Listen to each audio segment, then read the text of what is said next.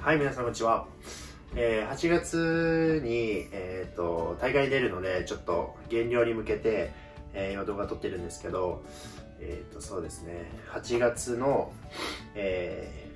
ー、FWJ っていう大会ですね、の、えっ、ー、と、今年は、えー、なんだっけ、ジーンズモデルっていうような、えー、カテゴリーに出たいと思ってるんですけど、えーと、もともとアスリートモデルって言われてるような感じで、えーと、ジーパンを履いてで、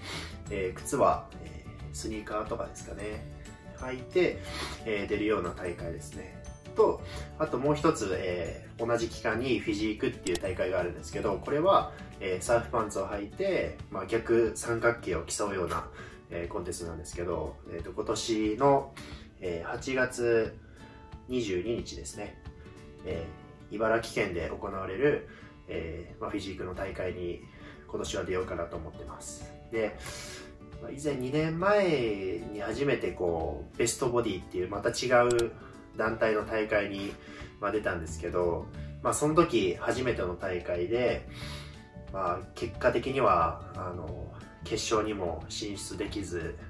まあ、なかなか、まあ、レベルが高いというかそうですね。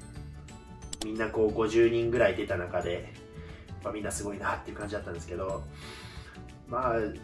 そうですね。ボディービルと違ってこう体の美しさとかをこう競うようなコンテストではあるんですけど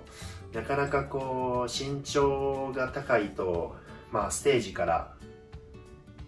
えー、と観客席からステージを見た時にちょっと私の場合は身長が190ぐらいあるので結構細めに見えてしまうっていうのは、まあ、あるんですけど、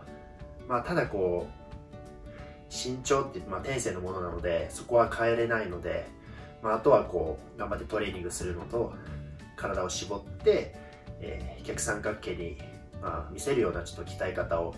まあ、今頑張ってやってるんですけどそういった感じの、まあ、8月にあるので、